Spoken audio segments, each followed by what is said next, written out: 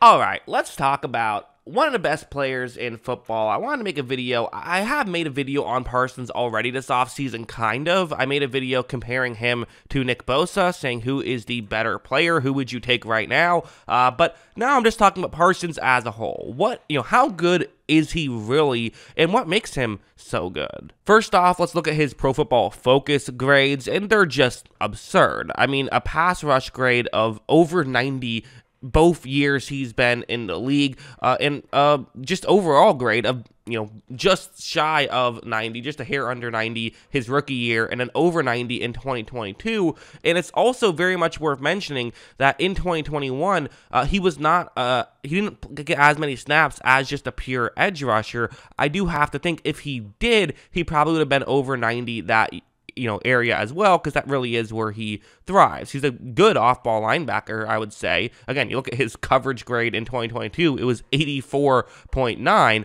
uh, which is a great grade. Although again, some of that is chopping back into coverage, getting easier assignments, going up against halfback, stuff like that. But still, uh, you know, he's a good coverage linebacker. He's a good linebacker in general, but he's just an elite pass rusher. Well, let's get into the film. Let's talk about what makes him so great, because I think some people always wonder how is it possible for an edge rusher of Parsons' caliber to still consistently get sacks, right? Why don't you just double team him and call it a day? Well, because if you double team him, that still doesn't necessarily make it a day. Something like this, you're going to have it's not like a full on double team, but he's going to be you know chipped here, meaning that you have uh, a halfback who's on the line. He's going to start off you know blocking Parsons a little bit, getting Parsons closer towards the middle of the field, uh, which then results in him you know being slowed down and allows the right tackle on this play to be able to get the hand placement he wants easier. That's the you know the reason why you do this, and then you can still you know the halfback can still then go out run a route,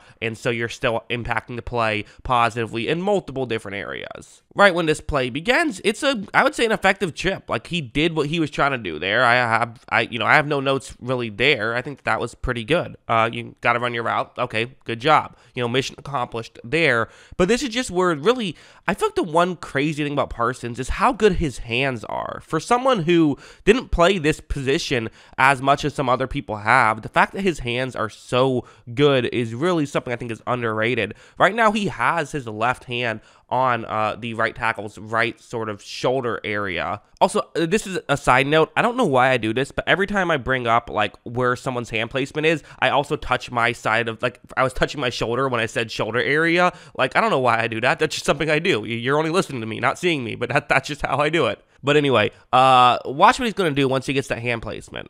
Look at that power to move him aside, and he is going to be able to uh, get to Matt Stafford and get the sack right there. I'm not sure if he got credit for a full sack or a half sack, but who cares? It was a great play, and you brought down the quarterback. What's the difference of you know what goes in the stat sheet and what doesn't? Very good play from Parsons, uh, and that's something I think I wanted to bring up because I feel like he doesn't get enough credit with the hand placement. There's some things that he gets credit for, but are still fun to talk about. For example, this one, how's that for a segue? What's going to happen here is once again uh, going up against the right tackle. This time, just a one-on-one matchup though, and watch what he's going to do. It's really going to be the the explosiveness. He is so explosive off the line. It's like him and TJ Watt are like the only two guys who are that explosive. You could maybe even argue Parsons is a hair just more explosive than Watt is. They're both so quick off the line.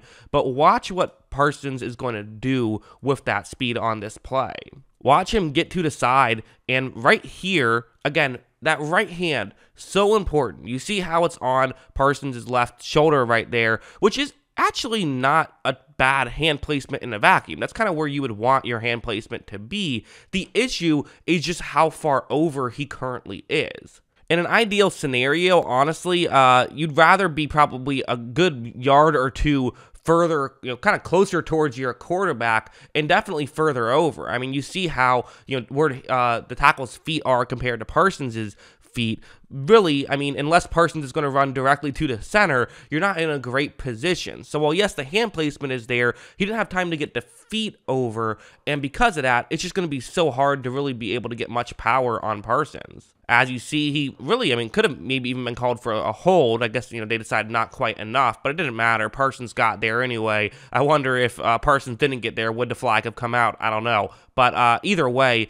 that was a very good play from Micah Parsons to be able to to pull something like that off. And it's just that speed that he was able to do it with. And I guess you could argue, uh, you know, it probably was technically a rip move, which is why the hold didn't happen. He did kind of get his right arm under, uh, Parsons got his right arm under the tackle's right arm. So that's why it wasn't a hold. Uh, so, but, you know, it was just a great play. It really, I mean, kind of what's crazy about it is it happened so quick. It really didn't even feel like a rip move. It just felt like he just ran there and got there that quickly uh, to the point where the hand couldn't really get over. You also have something like this, where he's going to be going up one on one against Christian Darrisaw. Really good left tackle. In fact, that you could argue an elite left tackle for Minnesota. He was great last year, but, you know, Parsons is great in his own right. Okay, listen, you know, good pass rushers can win in one on one situations. But the reality is, you typically expect one, even if it's like a not great uh, tackle going up against a great pass rusher, typically in that situation, you still expect that tackle to win. You know, more often than not, offensive linemen win. That's how it works. If you have, you know, one sack in a game, you had a great game. That that's typically how that works. So, okay, really good tackle, really good edge rusher. What's going to happen? Right out the bat, watch how Parsons is going to get, you know, he, got, he gets his left hand onto Darrisaw right there. That's going to be very important because he's not allowing Darrisaw to fully get his left hand onto Parsons's right, you know, pec shoulder area. That's that's kind of why uh, you know Parsons is doing this, just disrupting Darrisaw a little bit. Eventually, Darrisaw does kind of get his hand placement close to where he wants it, but Parsons now has his right arm on Darrisaw's left wrist. And again, hands are so important in these types of situations. Watch how he's able to knock it away, and then he has the speed to track down Cousins and knock the football out. Dallas recovered, and you know, we're able to get the fumble recovery. I mean, that's just a great play from Parsons, and you know, to be able to beat one of the best tackles in the league doing it, yeah, that's pretty pretty great. Also, stuff like this. This is now not Darrisaw he's going up against, but anyway, what's going to happen is it's a it's a one-on-one matchup. And watch how when this play begins. Watch this kind of inside rip move where he gets that right hand up to the point where again it's the hand placement for the tackle his you know right hand now is what he's trying to use but it's very similar to the first play i showed you while it might be over he doesn't really have the grip that he wants he doesn't have a defeat where he wants to be able to make this work Parsons blows right by him and again is able to get that immediate sack. Parsons is just one of those players where it's like you pretty much have to double team him on every play or it's not going to go well. And even if you do double team him, there's still a very good chance it's not going to go well. He disrupts your game plan. You have to game plan around him. And even when you do, he still finds ways to be impactful. And that to me is the true test of an elite pass rusher. So, yeah, those are my thoughts with Parsons. I think that he's fantastic and one of the better pass rushers in the league, if not the best uh, pass rusher in the league. I don't think he's the best pass rusher in the league. I have a couple guys ahead of him, but he's, you know, uh, top five for sure, I think, and, you know, uh, probably not number five. What do you guys think? Let me know in the comments below. Always love hearing from you. And of course, as always, thanks for watching.